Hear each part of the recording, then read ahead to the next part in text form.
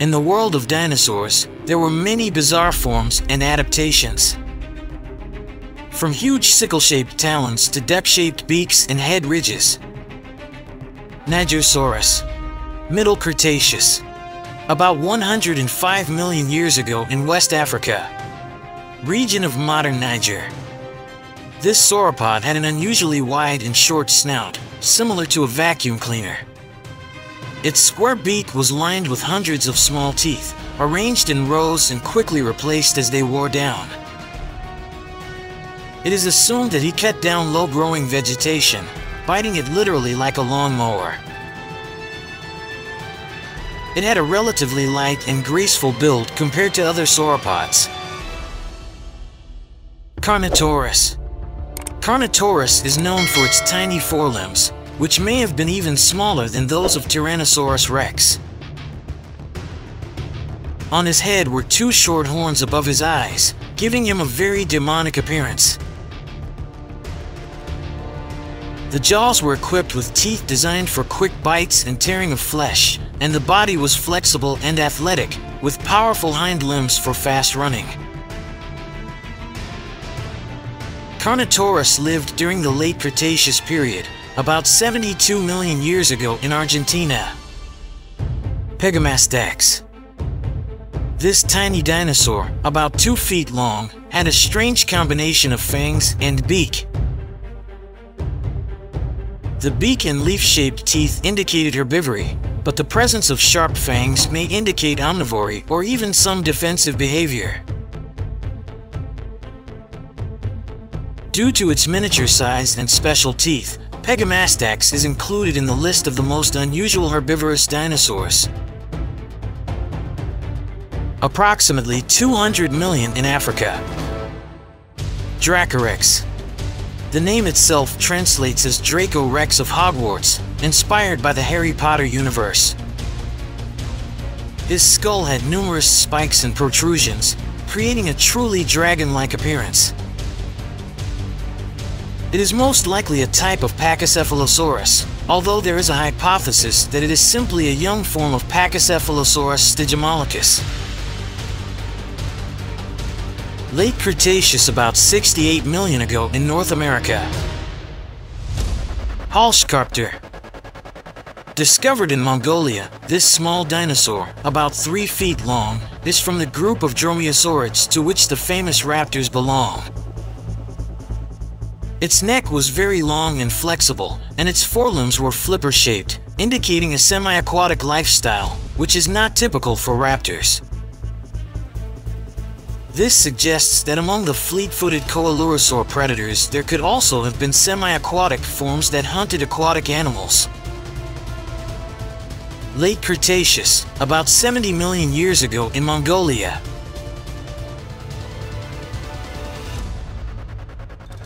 Anzu. Anzu is a member of the Oviraptorosaurs, which are sometimes called dinoparrots due to their beak-like mouth and crests. It had a large tooth-replaced beak, a crest on its head, and relatively long forelimbs with three claws. It is quite likely that this character had plumage.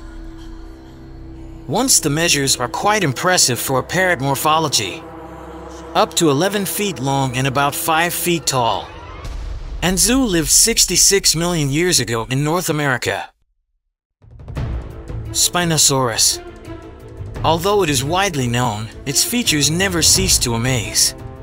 Spinosaurus was gigantic, larger than Tyrannosaurus rex in length, and had a huge sail on its back elongated spinous processes of the vertebrae, up to 5 feet high. Its snout and teeth were crocodile-like, adapted for catching fish. Recent studies indicate that Spinosaurus could have led a semi-aquatic lifestyle, hunting in the rivers and swamps of Africa. Spinosaurus lived 100 million years ago in North Africa. Some dinosaurs, like Halszkaraptor or Spinosaurus, switched from their usual land lifestyle to living near water. Many of the bizarre shapes show dramatic departures from normal dinosaur appearance, be it the enormous claws of Therizinosaurus or the ridges and growths on the skulls of various species. From a group that was almost entirely carnivorous, lineages of herbivores, such as Therizinosaurs, and omnivores, such as Oviraptorosaurs, emerged, which in itself is quite surprising. Amargasaurus. This is a relatively small, long-necked dinosaur from the early Cretaceous period of South America. Its main miracle is the double row of very tall spinous processes on the neck and back, which could form two sails or a supporting structure for the skin or horny growth. Such spears look extremely futuristic and there is no complete consensus on exactly how they were covered and what they served for. Thermoregulation, or demonstration, or protection. Amargasaurus lived during the early Cretaceous period, about 130 million years ago in Argentina. Microraptor. A small dinosaur up to 3 feet long, from the group of Dromaeosaurids. It had not two, but actually four wings. In addition to the wings on the forelimbs, there were also long flight feathers on the hind legs. Apparently could glide from branch to branch, making it an early example of the development of flight among dinosaurs. Microraptor lived approximately 125 million years ago in China. Pachycephalosaurus. These dinosaurs had an extremely thick cranial dome, a strong cap up to one foot high. There is a version that the males staged exhibition head fights or demonstrations, butting heads together like mountain sheep. With their formidable helmet, Pachycephalosaurs stood out among other herbivores, Although their details remain unknown, values remain a matter of debate. The animal lived during the late Cretaceous period, 66 million years ago in North America. Shunosaur A small, about 36-foot long sauropod from the Middle Jurassic of China that had a club at the end of its tail. This is an extremely rare trait for long-necked dinosaurs. Typically, tail clubs are known from ankylosaurs, but such protection is almost never found in sauropods. This defensive adaptation makes Shunosaura a truly unusual member of the long lineage of sauropods. Shunosaur lived about 170 million years ago in China.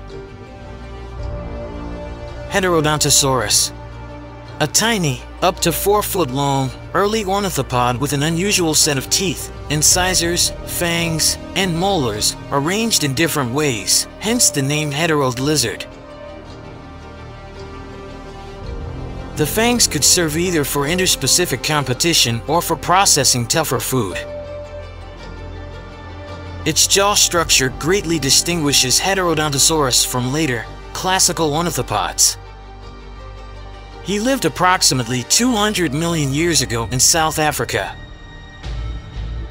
Epidendrosaurus and Scansoriopteryx. Both names are used to describe a small tree-climbing dinosaur with very long toes on its forelimbs, which likely helped it cling to trunks and branches. On the forelimbs and, probably, parts of the body there were feathers, possibly forming a small membrane, which indicates the development of a gliding type of flight. Demonstrates the early stages of the evolution of aerial adaptations in small coelurosaurs. Place of residence 160 million years ago. China, Ingentia. The name translates as first giant. This is one of the earliest known sauropodomorphs to reach truly large sizes, and it lived already in the late Triassic, early Jurassic. Various estimates give an age of about 210 million years. Shows that gigantism and long-necked dinosaurs arose earlier than previously thought. The bone structure indicates accelerated growth, which is unusual for the earliest sauropodomorphs. He lived about 210 million years ago in South America. Qianzhousaurus Pinocchio rex. It is a theropod from the Tyrannosaurid family, similar in appearance to Tyrannosaurus rex, but with a longer and narrower snout. Due to its unusual elongated muzzle, it received the unofficial nickname Pinocchio Rex. Illustrates that even among the kings the Tyrannosaurids were strange forms in their own way, adapted to different prey and, probably, different hunting tactics. This predator lived 70 million years ago in China. Dinosaurs inhabited every possible type of environment, from dense forests and swamps to sea coasts. During the process of evolution, different groups developed similar features, for example, thickened cranial armor, long claws, crests, sometimes independently of each other. With each new discovery, we find forms that break the stereotypical ideas about the classic appearance of a dinosaur. Thus, in addition to the already known eccentrics like Therizinosaurus or Deinocheirus, the world of Mesozoic lizards is rich in other rare, sometimes completely exotic forms. They help us understand how creatively and sometimes unexpectedly evolution came up with ways to adapt to the conditions of prehistoric Earth. Thank you for watching this video. Give it a thumbs up and leave a comment. Subscribe if you haven't already. And also press the bell so as not to miss new and interesting videos from the channel Real Unreal.